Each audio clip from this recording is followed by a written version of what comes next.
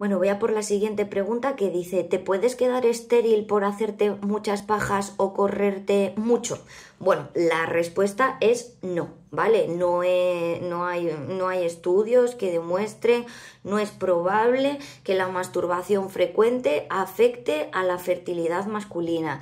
Esto es un mito eh, que está dentro de otro montón de, de mitos ¿no? que hay respecto a la a la masturbación, ¿no? O sea, eh, quizás en otras épocas, eh, cuando nuestros padres eran pequeños, eh, se les contaban cosas como que podían quedarse ciegos, también se decía antiguamente que al masturbarte mucho te, te salían más granos, ahora quizás el mito más frecuente es, bueno, si te masturbas mucho, bueno, pues puede que afecte a tu fertilidad. La respuesta a esta pregunta es no.